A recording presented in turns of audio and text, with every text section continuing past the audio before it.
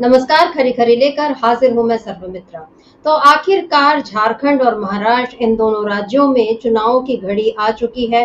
अब से डेढ़ घंटे बाद, क्योंकि साढ़े तीन बजे आज निर्वाचन आयोग इसका ऐलान करने वाला है कि महाराष्ट्र और झारखंड में कब चुनाव होंगे, कौन सी तारीखों को वोट पड़ेंगे, कितने चरण में चुनाव होंगे और नतीजे कब आएँगे, इन सब का ऐलान आज चुनाव आयोग करने वाला है और इसके साथ ही उपचुनाव की घोषणा भी होने वाली है। तो चुनाव आयोग अपना काम तो करना, वो कर रहा है, दिख रहा है कि चुनाव आयोग जो चुनाव कराने की जो ज़िम्मेदारी उस पर है, एक लोकतांत्रिक तरीके से, निष्पक्ष और पारदर्शी तरीके से जो चुनाव कराने की ज़िम्मेदारी है उस पर, वो काम करता हुआ दिख तो रहा है, लेकिन वो किस तरह से काम कर रहा है, इसको लेकर आरोप लगने शुरू हो गए हैं, और आज फिर से जब झारखंड और महाराष्ट्र चुनाव की घोषणा होने वाली है, उसके पहले ही चुनाव आयोग पर बड़े गंभीर आरोप लगे हैं और कहा जा रहा है कि बीजेपी नेताओं को इसके बारे में पहले ही खबर हो गई थी कि आखिर इलेक्शन कब होंगे। और इसको लेकर बीजेपी की भी बहुत फजीहत हो रही है, यानी मोदी सरकार की फजीहत हो रही है कि आखिर ये कैसा लोकतंत्र वो बना रही है, कैसा लोकतंत्र उसने बना दिया है,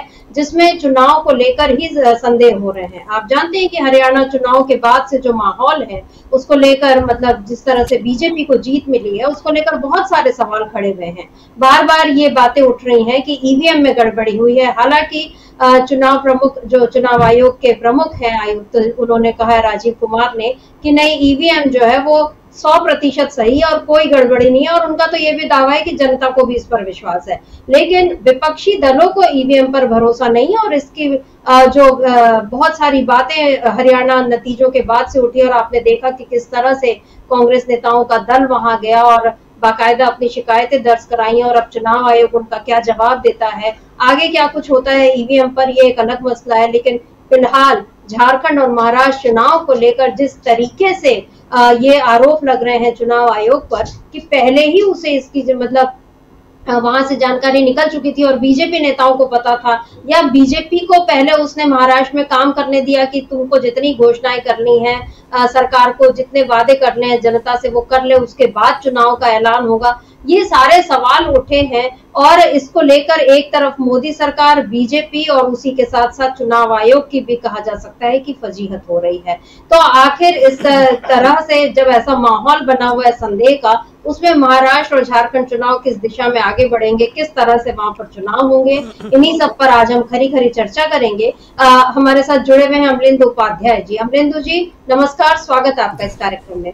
अमरेंदु जी, सुबह से आप लोग, आपने भी इस पर चर्चा की ही कि चुनाव आयोग पर किस तरह के गंभीर आरोप लग रहे हैं। और इसको लेकर कुछ तंज भी कसे गए, जैसे कि शिवसेना के नेता है आनंद दुबे। उन्होंने कहा कि बड़ा उपकार किया चुनाव आयोग ने, जो चुनाव का ऐलान कर दिया। फिर उधर जेएमएम नेता झारखंड मुक्ति मोर्चा के मनोज पांडे। उन्होंने तो बाकायदा ये कहा कि हम चुनाव के लिए हमेशा तैयार रहते हैं, लेकिन आज चुनाव की घोषणा होने वाली है और इसकी जानकारी बीजेपी के नेताओं को कल ही हो गई थी। ये बहुत गंभीर विषय है। क्या बीजेपी नेताओं के इशारे पर चुनाव आयोग काम करता है? हेमंत बिश्व शर्मा कल अपने एक बयान में बोल गए कि आज चुनाव की घोषणा होने वाली है। किसी आयोग को इस कदर कठपुतली बनाकर रखना, ये गंभीर बात है। तो ये मनोज पांडे ने बहुत बड़ा इल्ज़ाम लगाया है कि चुनाव आयोग जो है वो बीजेपी की कठपुतली है। और इधर कुछ और नेता हैं जिनके हम बाइट पे सुना देते हैं, जैसे एनसीपी शरद गुट के नेता है क्लाइट कॉस्ट्रो उनका जो एक बयान है वो सुन लेते हैं कि उन्होंने किस तरह से, क्योंकि आज महाराष्ट्र में इस समय जब अगले एक डेढ़ घंटे में चुनाव का ऐलान होगा, और उसके पहले ही आज सात एमएलसी ने वहाँ पर शपथ ग्रहण भी उनका हो गया। चुनाव के घोषणा वाले दिन ही इस तरह से क्यों एमएलसी के शपथ ग्रहण करवाने की ये जो हड़बड़ी दिखाई गई, क्यों दिखाई गई? क्या सारी रणनीति बीजेपी इस तरह से जो अपना रही है इसमें उसको कितना फ़ायदा मिलेगा ये हम देखेंगे। पहले हम सुन लेते हैं कि क्लाइट क्रोस्टो ने क्या कहा। चुनाव की घोषणा तारीख का घोषणा करेगा। एनसीपी तैयार है किस तरह से और इलेक्शन प्रेस कॉन्फ्रेंस उसको लेकर किस तरह से देख रहे हैं? देखिए आज चुनाव आयोग महाराष्ट्र और झारखंड के जो चुनाव है उसका ऐलान करेगी। देरी से लेकिन कर रहे हैं। उसके लिए हम इलेक्शन कमीशन का शुक्रिया अदा करते हैं। तैयारी तो हमारी है। हम काफ़ी दिनों से तैयार थे। महाविकास अघाड़ी मिलकर डट कर ये इलेक्शन लड़ेगी और महाराष्ट्र की जनता को एक अच्छी सरकार देंगी। देखिए, काफ़ी वक्त से सवाल किया जा रहा था कि इलेक्शन कमीशन क्यों इतना समय या विलंब कर रही है इस समय डिसीज़न लेने में। अब दिखाई दे रहा है।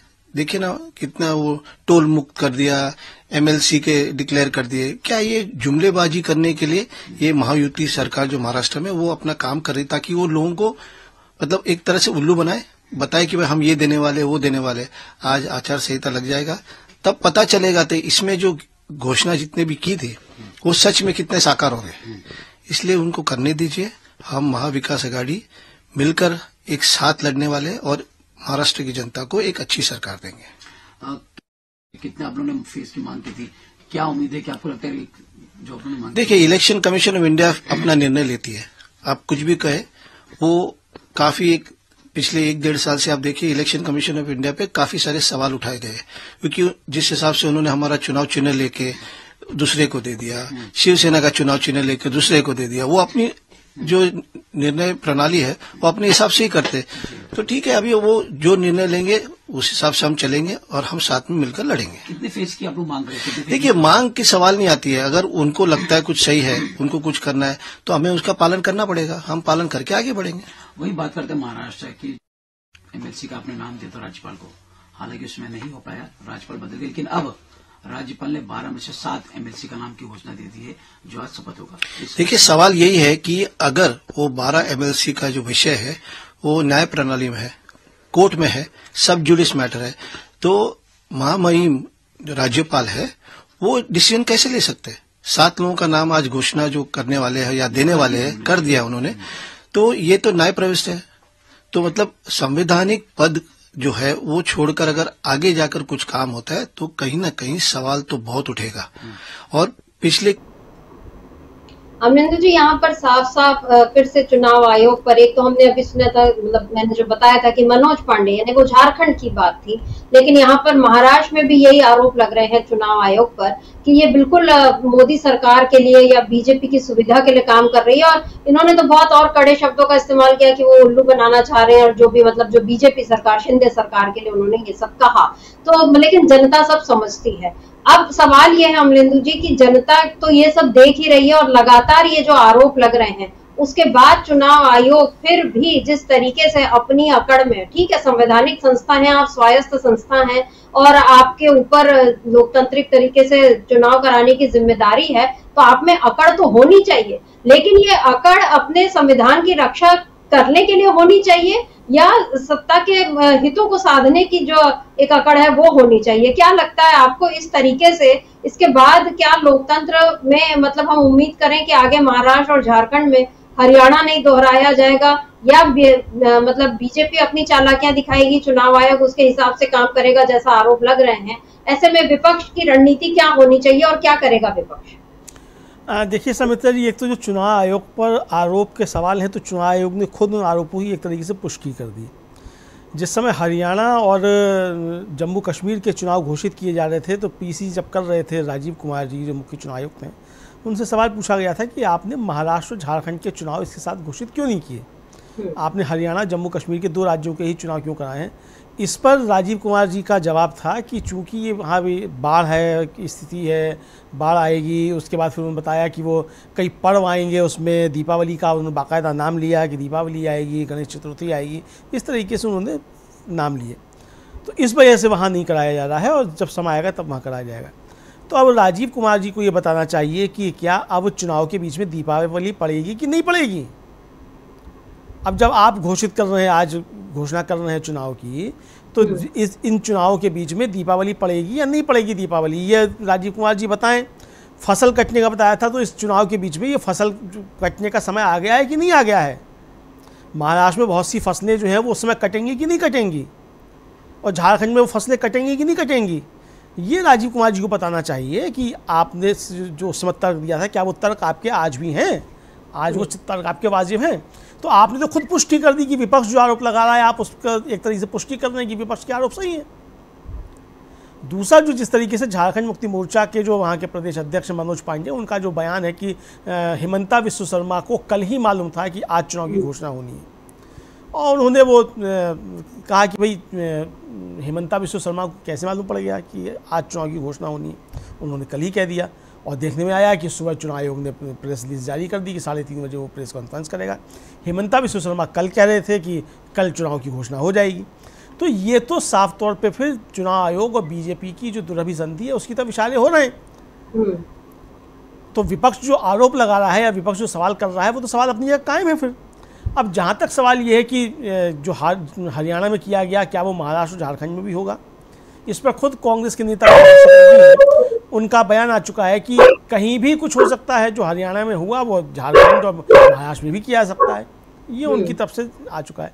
तो यानी जो सवाल है कि क्या चुनाव आयोग के ऊपर जो संशय के बादल हैं और जो आरोप चुनाव आयोग पर लग रहे हैं क्या चुनाव आयोग ने उससे कोई सीख ली है? क्या चुनाव आयोग अपनी कार्यप्रणाली को सुधारेगा? क्या महाराष्ट्र और झारखंड के चुनाव निष्पक्ष होंगे? इस पर सवाल हैं और चुनाव आयोग पर आरोप गंभीर हैं और इसमें फजीहत जो हो रही है, वो चुनाव आयोग की भी हो रही है और मोदी सरकार की भी फजीहत हो रही है। क्योंकि जिस तरीके से महाराष्ट्र के नेता आरोप लगा रहे हैं, क्लाइट कास्टो जो कह रहे हैं कि भाई उन्होंने आज जो है वो सात अपने घोषित कर दिए, एमएलसी उनकी शपथ ग्रहण भी हो गई। इसी तरीके से जो विजय वडेट्टीदार हैं, जो नेता विपक्ष हैं, कांग्रेस के नेता हैं, उन्होंने कहा कि ये डिले इसलिए किया गया चुनाव आचार संहिता लगाने में, ताकि वो अपने सात एमएलसी को राज्यपाल से नियुक्त करवाने को करवा लिए। क्योंकि अगर लग जाती आचार संहिता तो उसके बाद फिर वो नहीं होता, नहीं नॉमिनेट हो पाते। तो ये बहुत सारे सवाल जो उठ रहे हैं तो इससे साफ़ तौर पर ज़ाहिर होता है, और जो विपक्ष का आरोप है चुनाव आयोग पर उन आरोपों की चुनाव आयोग कहीं ना कहीं पुष्टि करता हुआ दिखाई देता है। वरना आज जब प्रेस कॉन्फ्रेंस करें राजीव कुमार तो उनको बताना चाहिए कि उन्होंने पहले महाराष्ट्र के चुनाव की घोषणा क्यों नहीं की? और हरियाणा के चुनाव पहले क्यों करा लिए? झारखंड के चुनाव आप एक महीना पहले क्यों करा रहे हैं? और जो तर्क आपने उसमें महाराष्ट्र चुनाव ना कराने के पीछे दिए थे, वो तर्क आज भी वाजिब है कि नहीं? बिल्कुल। और विजय वडेट्टीवार का आपने ज़िक्र किया, उनका भी एक बयान है हमारे पास, उसको भी हम सुन लेते हैं, क्योंकि चुनाव आयोग पर ये जो आरोप लग रहे हैं, ये कोई हँसी मज़ाक नहीं है, बहुत ही गंभीर विषय है, और चुनाव आयोग जिस तरीके से अपने हर आरोप को बिल्कुल ऐसे उड़ा देता है, क्योंकि हमने चुनाव आयुक्त के जवाब भी सुने हैं, पिछले बार भी जब लोकसभा चुनाव के घोषणा के वक्त ईवीएम को लेकर, चाहे और आचार संहिता को लेकर, चाहे जो जो लोग इसका उल्लंघन करते हैं, उनके ऊपर कार्रवाई को लेकर तो जिस तरह के जवाब वो देते हैं चुनाव आयोग तो बिल्कुल ऐसा लगता है कि वो सामने वाले को उसकी औकात बता रहे हैं कि तुम हो कौन इस तरह के सवाल करने वाले और हमारा जो काम है, यानी हम सत्ता को जिस तरह से सुरक्षित रखना है, वो हम उसको सुरक्षित, संरक्षित रखने का काम कर रहे हैं तो तुम हमसे इस तरह के सवाल मत पूछो। कुछ इस अंदाज में बिल्कुल खिल्ली उड़ाते हुए वो जवाब दे रहे हैं, लेकिन इसमें एक्चुअली जो है वो लोकतंत्र का मज़ाक बन रहा है और ये लोकतंत्र का मज़ाक जब बनता है तो सबसे पहली मुसीबत जो है वो जनता की ही आती है। बहरहाल हम सुन लेते हैं कि विजय वडेट्टीवार ने क्या कहा है, उसके बाद आगे बढ़ते हैं। हमारी लड़ाई महाराष्ट्र के स्वाभिमान को बचाने की है। महाराष्ट्र का स्वाभिमान गुजरात के चरणों में अर्पण किया है ये सरकार ने। इसीलिए चुनाव का इंतज़ार महाराष्ट्र की जनता कर रही थी। इन लोगों ने महाराष्ट्र बेच के खाया है। महाराष्ट्र के अस्मिता को बेच दिया है। ये सब सरकार महाराष्ट्र के सरकार गुजरात के इशारों पर राज करती है। तो महाराष्ट्र की जनता इसका बदला लेना चाहती है। आज आचार संहिता होगी और आचार संहिता के इंतज़ार जनता कर रही है। ये महायुति सरकार को सत्ता से हटाने का निर्णय लोगों ने लिया है और हमारी तैयारी पूरी तरह चुनाव को सामने जाने की कर चुके हैं। राज्यपाल की ओर से जो राज्यपाल की ओर से जो बारह विधायकों की नियुक्ति थी उनमें से नहीं देखिए ये आज जो कोड ऑफ़ कंडक्ट दस दिन पहले लगेगा ऐसा लग रहा था। इस बारे में कोर्ट का आदेश है कि तेईस तारीख को इस बारे में फैसला सुनाने की बात कोर्ट ने कही थी। फिर भी इन्होंने गवर्नर के तरफ़ नाम भेजा, सात लोगों की नियुक्ति की, आज उनका शपथ विधि होने वाला है वो तो होने वाली है। ये सब असंवैधानिक तरीके से हो रहा है। हम कोर्ट में जाएँगे और कोर्ट में न्याय मांगेंगे, कोर्ट में जाने वाले हैं। ये केवल कोड ऑफ़ कंडक्ट आगे इसीलिए किया गया कि ये सात एमएलसी का नाम उनको करना था, काम करना था, उनको नॉमिनेट करना था। इसीलिए इन्होंने ये आगे ढकेला था ऐसा भी संशय हमें है। यहाँ पर भी विजय वडेट्टीवार साफ़ साफ़ कह रहे हैं कि किस बात का शक है और वो जो असंवैधानिक, जिन बातों की और उन्होंने ज़िक्र किया और ये कह रहे हैं वो कि वो अदालत में जाएँगे। तो अमलेंदु जी, पिछले पाँच साल में, यानी 2019 में जब चुनाव हुए थे क्लियर मेजोरिटी मिल गई थी एनडीए को, लेकिन जिस तरह से फिर किया उद्धव ठाकरे के साथ और फिर जो उसके बाद जो पूरा घटनाक्रम चला है महाराष्ट्र में, वो बिल्कुल ऐसा लग रहा है कि बहुत ही जैसे उसमें सारी चीज़ें मतलब गद्दारी और बगावत और दोस्ती और धोखा सब कुछ है और अब ऐसा लग रहा है कि अब जब चुनाव होने वाले हैं तो सब लोग अपना अपना अकाउंट जो है वो सेटल करने के मूड में है, इस समय दिख रहे हैं। महाराष्ट्र में पिछले पाँच सालों में तीन सरकार, तीन मुख्यमंत्री और तीन उप मुख्यमंत्री हो गए। इसमें अजीत कुमार, अजीत पवार जो है, वो कॉमन फैक्टर रहे कि तीनों सरकारों में वो उप मुख्यमंत्री बने रहे। बहरहाल, महाराष्ट्र में जो इस समय जो दिख रहा है समीकरण सारा, वो महागठबंधन के पक्ष में ही ज़्यादा दिख रहा है। लेकिन इस समय जो आरोप चाहे विजय वडेट्टीवार ने लगाए, चाहे क्लाउडियो ने, उन्होंने लगाए, कि ये कि किस तरीके से चुनाव आयोग जो है वो मदद कर रहा है, और इसके पहले शिंदे सरकार जो हड़बड़ी दिखाकर कैबिनेट के बहुत सारे फैसले लिए, बहुत सारे फैसले इस तरह से लिए, जिसमें फ़ायदा हो और मतलब बीजेपी को फ़ायदा हो और एक तरह से ध्रुवीकरण भी बने। ये भी कोशिश जो है वो दिख रही है शिंदे सरकार की। लेकिन जहाँ, यहाँ पर जो महागठबंधन के तमाम नेता जो बोल रहे हैं कि हम एकजुट हैं और हम मिलकर लड़ाई लड़ेंगे और हम महायुति को इस बार मज़ा चखाने वाले हैं सबक सिखाने वाले हैं, जनता सबक सिखाने वाली है, ये दावा है। बाला साहब थोराट है, उनका भी एक बड़ा बयान आया है, उसको सुनते हैं फिर महाराष्ट्र की जो हलचल है जो सियासी तस्वीर है उस पर थोड़ी सी चर्चा करेंगे। सुन लेते हैं बाला साहब थोराट क्या कहते हैं। सर जिस प्रकार से आज चुनाव आयोग प्रेस कॉन्फ्रेंस करिए महाराष्ट्र और झारखंड चुनाव को किस तरह से देख रहे हैं आप? क्या आप लोग तैयार पूरी तरह चलो चुनाव तो शुरू हो रहा है। लोगों को संदेह था कि चुनाव होगा कि नहीं? ये दादा दादा। इतना आगे लेके गए चुनाव। उनको तो पॉलिटिक्स पॉलिटिकल प्रोपोगंडा करना था गवर्नमेंट के पैसे से। तो उन्होंने कर दिया। एक महीना आगे गया। महाविकास आघाड़ी तैयार है सर चुनाव को लेकर? पूरी तैयारी है हमारी। सीट से कितनी उम्मीद है सर? हो जाएगी ये हफ़्ते में खत्म करेंगे। तो मान के चले महाराष्ट्र में इस बार सत्ता परिवर्तन होगा हाँ, होगा। होगा ज़रूर होगा। पूरे हम देख रहे हैं महाविकास अघाड़ी के जितने भी नेताओं की बातें हम सुन रहे हैं बहुत कॉन्फिडेंट नज़र आ रहे हैं और उनको ऐसा लग रहा है कि इस बार सत्ता परिवर्तन होगा, क्योंकि जैसा हमने अभी ज़िक्र किया कि महाराष्ट्र में पिछले पाँच सालों में मतलब ऐसा कभी इतनी उथल पुथल महाराष्ट्र में नहीं मची थी। चाहे जब शिवसेना कांग्रेस से अलग थी, तब भी, या बीजेपी शिवसेना साथ थे, तब भी, लेकिन कभी ऐसा नहीं था कि इतना ज़्यादा मतलब जो सत्ता का खेल है और दल बदल का खेल है, इस कदर मचा हो, लेकिन ये सब हुआ महाराष्ट्र में, जनता ने इसको देखा और अब बार बार एक जो गुजरात लॉबी का यहाँ पर सवाल उठ रहा है कि गुजरात के इशारे पर का काम कर रही है महाराष्ट्र सरकार। अमनेंदु जी, जब 2014 में मोदी सीएम से पीएम बने तो गुजरात मॉडल का बहुत ज़िक्र होता था और पूरे देश में गुजरात मॉडल का ढिंडोरा पीटा जाता था। लेकिन अब जो है बार बार गुजरात का नाम लेकर ये कहा जाता है कि गुजरात लॉबी जो है, वो सबको अपने इशारे पर नचा रही है। ऐसे में क्या आपको लगता है कि महाराष्ट्र में क्या समीकरण बनते हुए दिखाई दे रहे हैं? क्योंकि महाविकास अघाड़ी के लिए चाहे जितनी खबरें प्लान कर दी जाए कि वहाँ दरार है और सीटों को, बंटवारों को लेकर बहुत वो है, तनाव है और उद्धव गुट ये मांग कर रहा है और ये कांग्रेस इस मुद्दे पर अड़ गई है। ऐसे बहुत सारी खबरें आ रही हैं जिससे दिखे।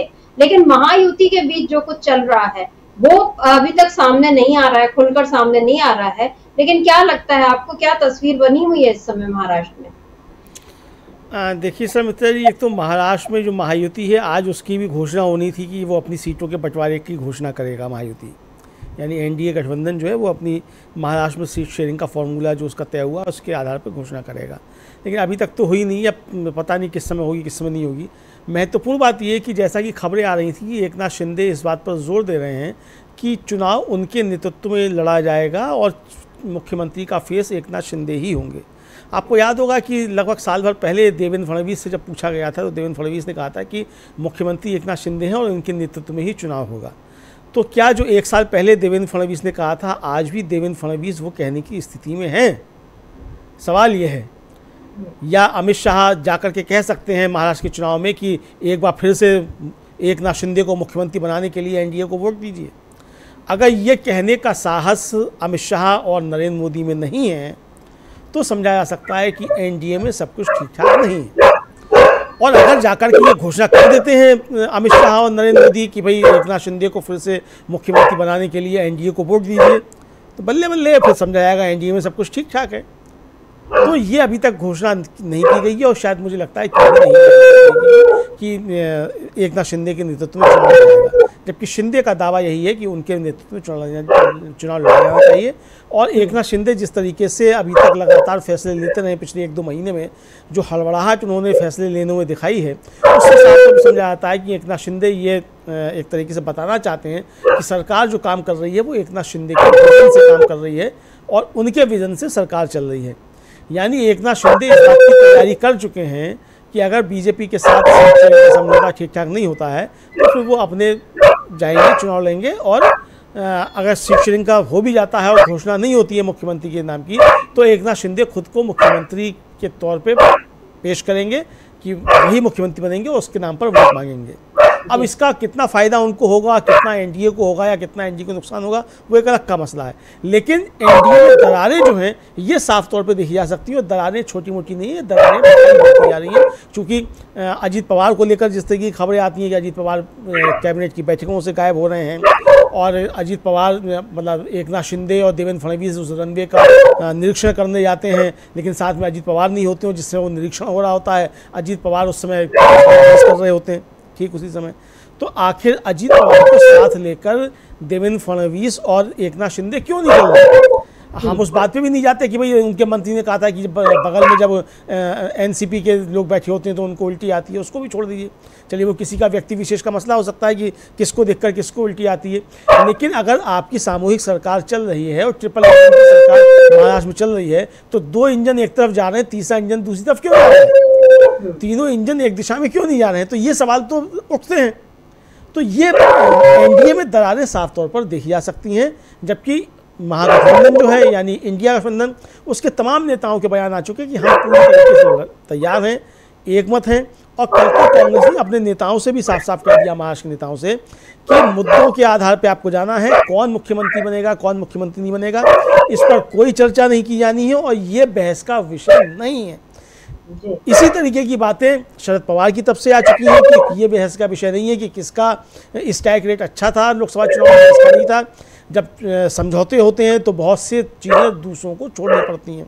उद्धव ठाकरे का भी आ चुका है कि कोई भी मुख्यमंत्री बने, हमारा सबका लक्ष्य पहला ये है कि इस बीजेपी की जो सरकार चल रही है, गुजरात की जो सरकार चल रही है, इस गुजरात की सरकार को हटाना तो यानी समिता जी, इंडिया गठबंधन का लक्ष्य एक है कि जो गुजरात की सरकार चल रही है, इसको हटाना है। और तमाम नेता इंडिया गठबंधन के जो हैं, वो चाहे एनसीपी के हों, चाहे चाहे वो उद्धव ठाकरे के हों शिवसेना के या कांग्रेस के हों, सब गुजरात को बीच में लेकर आ रहे हो ये बता रहे हैं कि ये सरकार गुजरात के रहमो करम पर चल रही है और गुजरात से संचालित हो रही है। और इधर जिस तरीके से हिंसा मतलब जो वारदातें हो रही हैं महाराष्ट्र में, और जिस तरीके से गुजरात की साबरमती जेल से वो सब संचालित हो रहे हैं गिरोह, उसको लेकर भी सवाल उठ रहे हैं कि अब अपराध भी क्या गुजरात से ही संचालित हो रहे हैं महाराष्ट्र में? चलिए, अभी तक सरकार संचालित होती थी, ठीक माना जा सकता था कि कुछ राजनीतिक फैसले हैं, लेकिन अब अपराध भी अगर महाराष्ट्र में होंगे तो वो भी गुजरात से संचालित होंगे। तो ये बड़े मसले जो हैं, ये गुजरात जो है बड़ा मसला महाराष्ट्र में बनने जा रहा है समझता है गुजरात लॉबी जो है, वो इस समय मोदी सरकार की फजीयत करा रहा है। जिस लॉबी का नाम लेकर, लॉबी नहीं कहना चाहिए, जिस विकास मॉडल का नाम लेकर मोदी आए सत्ता में और अमित शाह ने उस मॉडल को आगे बढ़ाने का काम किया पूरे देश दुनिया में गुजरात मॉडल की बात होती थी, लेकिन असल में वो गुजरात मॉडल अब गुजरात लॉबी पर उतर आया है। तो ये दिख रहा है कि न केवल विकास की बातें तो एक और भूल जाइए, लेकिन किस तरीके से दबदबा बनाया जा रहा है और किस तरह से संगठित तरीके से अपराध को भी अंजाम दिया जा रहा है, ये एक बहुत गंभीर मसला इस समय उठा है। लेकिन अभी हम बात कर रहे हैं, महाराष्ट्र की चर्चा हमने की चुनाव अभी से एक घंटे बाद जब घोषणा होगी तो पता चलेगा कि झारखंड में भी जब चुनाव होंगे तो वो किन तारीखों को होंगे। कल हेमंत बिस्व शर्मा पर एक आरोप लगे हैं, मनोज पांडे ने जो कहा है कि उन्होंने पहले कह दिया था कि आज घोषणा होगी। अच्छा होता हेमंत बिस्व शर्मा अगर ये भी बता देते कि चुनाव तारीखें कब होंगी, हालाँकि उन्होंने ये नहीं बताया, क्योंकि मुझे ध्यान है अमलेंदु जी 27 मार्च 2018 कर्नाटक के चुनाव की घोषणा होने वाली थी। और इधर अमित मालवी का एक ट्वीट आ चुका था, जिसमें उन्होंने बता दिया था इस तारीख को वोट होंगे, इस तारीख को काउंटिंग होगी। तो इसको लेकर जब सवाल उठे तो मुख्तार अब्बास नकवी, उन्होंने ये कहा कि मालवी को ऐसा ट्वीट नहीं करना चाहिए था, लेकिन उनका ट्वीट एक न्यूज़ चैनल पर आधारित था और उनका चुनाव आयोग के प्राधिकार को कमतर करने का कोई नहीं था। ये बाकायदा बताया। 2018 की बात हो गई पुरानी बात, लेकिन तब जो कर्नाटक चुनाव उसमें किस तरीके से सत्ता बदली थी? अब झारखंड को लेकर भी यही जो आरोप लगे उसमें राजेश ठाकुर ने क्या कुछ कहा है, सुन लेते हैं इसको। देखिए, चुनाव आयोग का पूरा सम्मान करते हुए हम ये कहना चाहते हैं कि जब चुनाव आयोग कोई फैसला लेता है तो वो क्यों कटघरे में खड़ा होता है? जब हमने बार बार कहा कि ड्यू डेट हमारा सिक्स जनवरी है तो उससे पहले आप कराइए। आप महाराष्ट्र के साथ चुनाव कराना चाहते हैं। ठीक है? तो आपने हरियाणा का जब तीन नवंबर को था और महाराष्ट्र का 26 नवंबर को ड्यू डेट था तो आपने इन दोनों का साथ क्यों नहीं कराया? तो कहीं ना कहीं जब आप हमारी बात अनसुनी करते हैं तो हमें यह लगता है कि आप राजनीति से प्रेरित होकर या किसी दल विशेष से प्रेरित होकर के इस तरह की घोषणाएँ करते हैं। फिर भी हम ये कहते हैं कि चुनाव आयोग का सम्मान करते हुए हम पूरी तरह से तैयार हैं और हमारी तैयारी को देखते हुए घबराहट में लिया गया ये फैसला है, क्योंकि लोग जानते हैं कि जब जो लोग इक्कीस सौ देने की बात कर रहे थे, माँ बहनों को जब पच्चीस सौ रुपए देने की बात हो गई तो उसको कैसे जल्दी से जल्दी रोका जाए और उसका सहारा चुनाव आयोग बन रहा है। तो हम समझते हैं कि हम लोग पूरी तरह से तैयार हैं और हर स्थिति परिस्थिति का मुकाबला बढ़िया से करेंगे। आप कह रहे हैं कि महाराष्ट्र चुनाव के साथ करने पर चुनाव आयोग की भूमिका कटघरे में है। अभी तो यहाँ पर जो राजेश ठाकुर ने कहा वो मतलब बिल्कुल जो सही सवाल आपने भी जिसकी ओर ज़िक्र किया था कि जब पहले ही उस समय चुनाव की घोषणा क्यों नहीं हुई? क्योंकि इन दोनों का जो कार्यकाल है जो सरकारों का वो लगभग एक ही वक्त में खत्म हो रहा है लेकिन एक जगह आपने पहले चुनाव करा लिया एक जगह आपने बाद में चुनाव करा लिया। और यहाँ पर उन्होंने जो ये ज़िक्र किया कि जब उनको ये लगा कि जो महिला मतलब जो मैया सम्मान योजना है, जिसमें हेमंत सोरेन ने अभी ये किया कि पंद्रह सौ से राशि जो है वो बढ़ाकर पच्चीस सौ कर दी और इधर जो गोगो दीदी योजना जो करा रही है बीजेपी, उसमें इक्कीस सौ रुपए की बात है। तो यहाँ पर उनको ये लग रहा है कि जैसे वो एक वॉशिंग पाउडर का एक वो आता है कि मेरी कमीज, उसकी कमीज से मतलब उसकी कमीज, मेरी कमीज से सफ़ेद कैसे, ये कुछ वैसे ही वो हिसाब हो रहा है कि हमने, हम ज़्यादा पैसे दें कि वो ज़्यादा पैसे दें, इसकी होड़ लगी हुई है और जहाँ ये लगा कि नहीं, अब हेमंत सोरेन इसमें हावी हो रहे हैं या वो आगे निकलते हुए दिख रहे हैं तो फ़ौरन से ये घोषणा हो गई कि चुनाव करा दिए जाए ताकि इसको इम्प्लीमेंट करने का उनको मौका भी ना मिले और इस तरह की आरोप, जो आरोप है, वो लग रहे हैं। क्या लगता है आपको, क्या इस तरह की रणनीतियों से झारखंड में इस बार बीजेपी अपना खाता खोल पाएगी, यानी सत्ता में आ पाएगी फिर से? क्योंकि जिस तरीके से एक और तो वो, ये जो महिलाओं को लुभाने वाली योजना जो चली आ रही है, मध्य प्रदेश, फिर महाराष्ट्र, फिर अभी झारखंड में भी यही काम कर रही है बीजेपी। लेकिन इसके साथ साथ सांप्रदायिक ध्रुवीकरण का भी एक जो कार्ड जो है खेला जा चुका है वहाँ पर। जिस तरीके से बांग्लादेशी घुसपैठियों के नाम पर एक माहौल बनाया जा रहा है और इस समय हम जो देख रहे हैं देश भर में जो माहौल चल रहा है और मोहन भागवत के बयान को भी इसमें हम जोड़ लें तो ये सब कुछ ऐसा नहीं लग रहा कि बहुत प्लान वे में संघ के साथ मिलकर बीजेपी एक तरीके से काम कर रही है कि एक तरफ़ सांप्रदायिक ध्रुवीकरण बढ़ाया जाए, दूसरी ओर महिलाओं को लुभाने वाली बात की जाए। यानी किसी भी हाल में जनता को बिल्कुल लाइन में खड़ा करके और उसके हाथ में खैरात थमाने वाली जो सोच है, ये बीजेपी की सोच है, लेकिन जनता को ऐसा लगता है कि इसमें उसका फ़ायदा हो रहा है, जबकि असल में उसका बड़ा नुकसान होता है। क्या लगता है आपको, अमलेंदु जी क्या बीजेपी की ये रणनीति इस बार झारखंड में काम कर पाएगी? देखिए सर्वत्रा जी, अभी तक तो यही लगता है कि ये रणनीति काम नहीं करेगी, चूँकि लोग अच्छे तरीके से समझ रहे हैं बीजेपी की रणनीतियाँ क्या हैं। अभी जो इनके बड़े नेता हैं झारखंड के निशिकांत दुबे और वो समझे जाते हैं कि मुख्यमंत्री के दावेदार असली वही हैं। बाकी सब तो नाम फर्जी चल रहे हैं, चाहे वो बाबूलाल मरांडी का हो, चाहे वो अर्जुन मुंडा का हो, और चाहे वो चंपाई सोरेन का हो। अगर सरकार बनती है वहाँ बीजेपी की तो निशिकांत दुबे जो हैं, वो वहाँ होंगे बीजेपी के मुख्यमंत्री, ऐसा समझा जाता है, जो राजनीतिक हलकों में चर्चा चलती है। उनका एक वीडियो बड़ा वायरल हो रहा है कि उनकी कई लाख की गाड़ी जो है, एक विदेशी गाड़ी जो है, वो आई है और उसको देखने के लिए लोग टूट रहे हैं। तो यानी आपने 80 करोड़ लोगों को तो लगा दिया चार किलो अनाज की लाइन में, और वो कई लाख की गाड़ी जो है, विदेशी गाड़ी, उससे घूम रहे हैं निशिकांत दुबे। तो ये समझा सकता है। तो ये तो जनता को खुद सोचना है कि बीजेपी किस तरीके की बातें करती है और किस तरीके से जनता के साथ काम किए जा रहे हैं, ये खुद उसको सोचना है। इसी तरीके से जिस तरीके से मोहन भागवत बोले और बहुत उल्टी सीधी बातें मोहन भागवत बोले और मोहन भागवत कहना क्या चाहते थे? खुलकर उनको कहना चाहिए था। इशारों इशारों में बात करने की कोई आवश्यकता नहीं थी। तो मोहन भागवत का जो कहना चाहते हैं और जो बहराइच में हो रहा है समित्रा जी, ये सब कुछ एक तरीके से सोची समझी रणनीति है। और ये साफ़ तौर पे इशारा करता है कि आरएसएस पूरी तरीके से सांप्रदायिक विभाजन की रणनीति पे जो काम करता है, उसको उसने चौड़ा करना शुरू कर दिया है। उत्तर प्रदेश में भी दस सीटों पे उपचुनाव होने हैं। उनकी भी आज घोषणा होगी। उनचास विधानसभा सीटों की जो घोषणा होनी है उनमें से दस जो हैं उत्तर प्रदेश में और सात राजस्थान में हैं। तो उत्तर प्रदेश में हम देख रहे हैं कि सांप्रदायिक तनाव भड़काने की चीज़ें शुरू हो गई हैं। इसी तरीके से झारखंड में पहले से जारी हैं और हमने तो ये देखा कि वहाँ के पुलिस अधिकारी का जो था वो वीडियो वायरल हो रहा था। वो कह रहे थे कि आप राष्ट्रभक्ति की बात करते हैं भारत माता की जय के नारे लगाते हैं और जो भारत माता के जो सिपाही हैं यानी जो सुरक्षा बल हैं उनके ऊपर आप पत्थरबाजी करते हैं। तो कैसा आपका ये देश प्रेम है? ये पुलिस अधिकारी कह रहा है, ये वीडियो वायरल हो रहा था। तो किस तरीके से भारतीय जनता पार्टी अपने निहित स्वार्थों की वजह से देश को में सांप्रदायिक विभाजन पैदा करती है देश में और किस तरीके से लोगों को बांटती है तो चीज़ें सामने आ रही हैं। अब ये जनता को समझना है। अब जो बहराइच में मिश्रा जी निपट गए, वो उन मिश्रा जी का निपटना क्या इतना ज़्यादा ज़रूरी था? और उसके पीछे किस तरीके से चीज़ें की गई? क्या मिश्रा जी को ये मालूम था कि क्या क्या आगे होने वाला है? तो ये जिस तरीके से चीज़ें आ रही है मिश्रा जी तो मतलब उनके परिवार के साथ तो बुरा हो गया।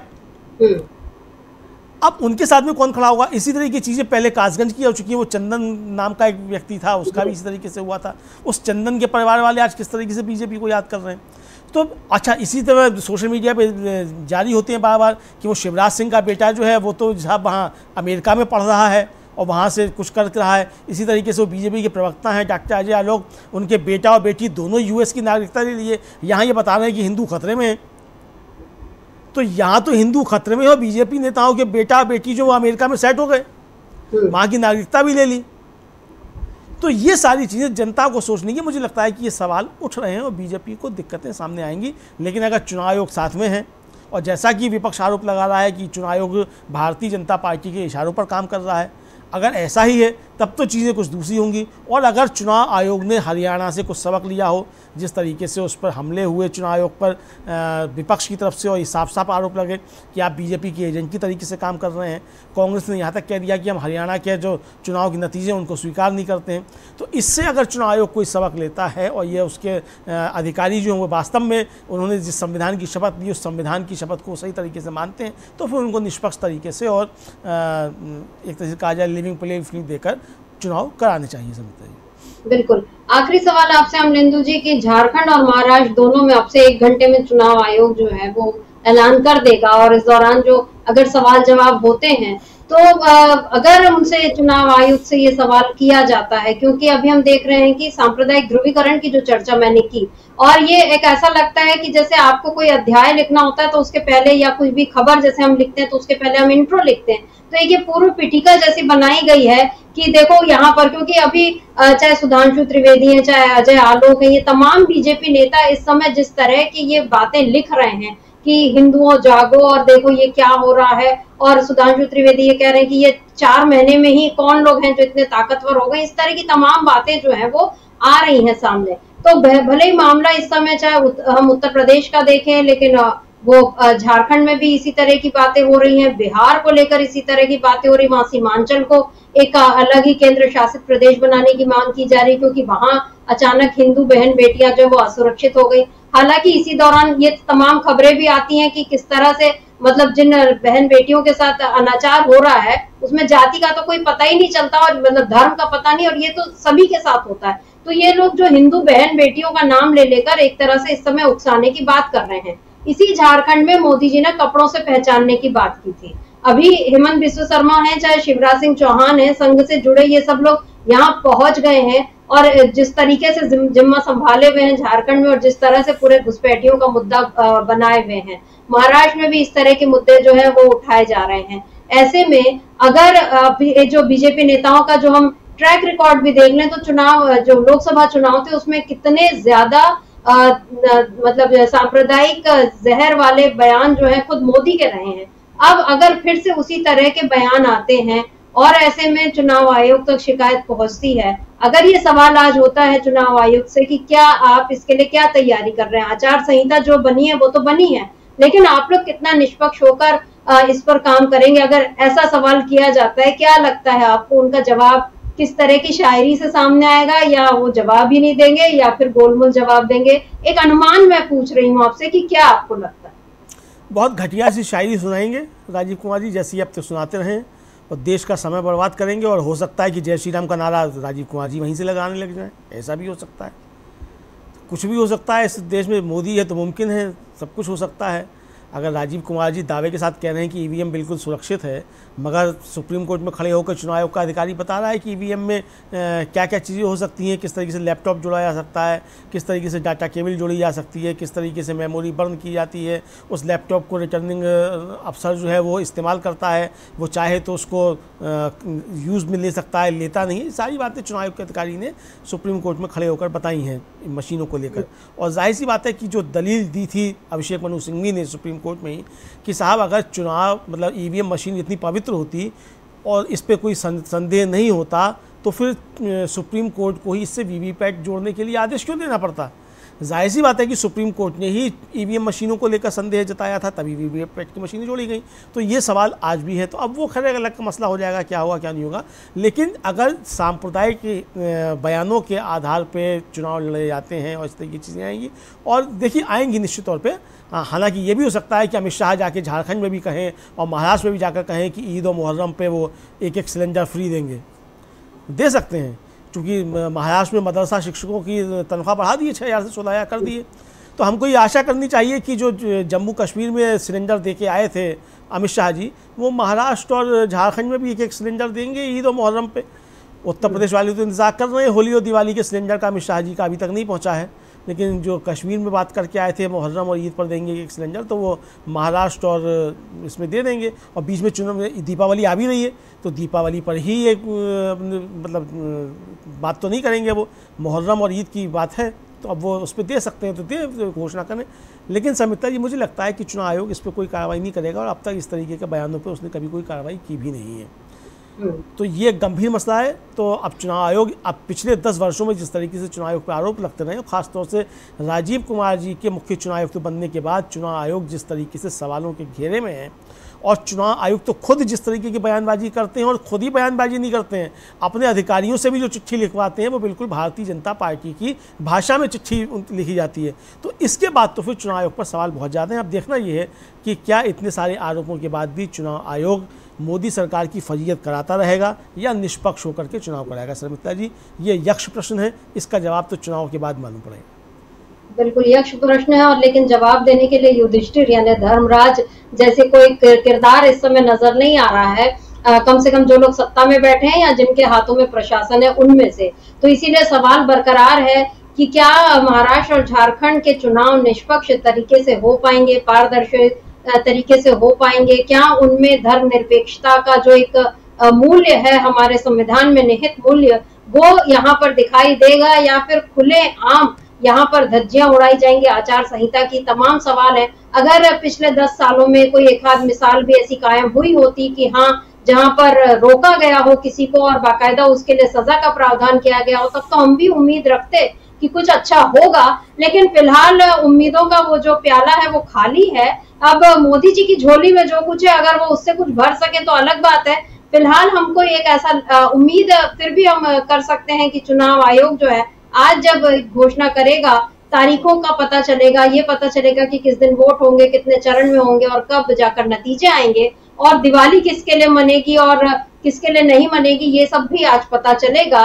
लेकिन सबसे अहम सवाल ये है कि क्या चुनाव आयोग पर जो गंभीर आरोप लगे हैं और जिस तरह मोदी सरकार की फजीहत इसमें हुई है, क्या वो दोनों, यानी मोदी सरकार भी और चुनाव आयोग भी अपनी साख को बरकरार या अपनी साख सुधारने के लिए कुछ करते हैं या नहीं करते, ये एक गंभीर सवाल अभी बना हुआ है। तो आज इस चर्चा को हम यही रोकते हैं। अमरिंदु जी, आपका बहुत बहुत शुक्रिया।